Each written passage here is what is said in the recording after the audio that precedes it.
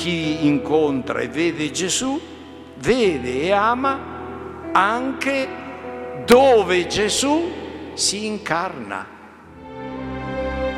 Gesù mio, io vi amo con tutti i cuori, vi raccomando ancora a tutti i poveri peccatori. Lasciamoci educare da Gesù e dalla Chiesa allo sguardo di Gesù, come Gesù guarda la vita, come Gesù guarda il mondo, come Gesù guarda la realtà.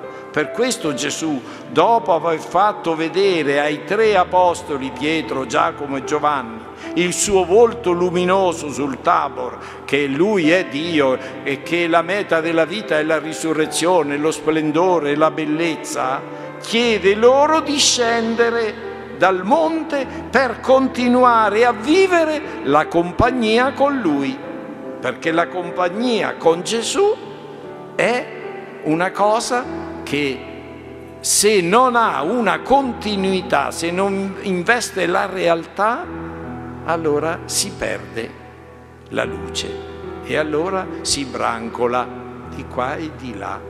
Ecco, di che cosa abbiamo bisogno oggi veramente per vivere, per vivere bene? Abbiamo bisogno di incontrare, di vedere colui che può tutto. Ci sono tanti salvatori della patria, mi pare di sentire, no? Ma Salvatore è uno solo. E allora anticipo eh, l'augurio che volevo farvi alla fine. Oggi è possibile sulla terra conoscere Dio, incontrare il volto bello di Dio, Gesù. Gesù nell'Eucaristia, Gesù nella confessione, Gesù nella vita di comunità, Gesù nel prossimo.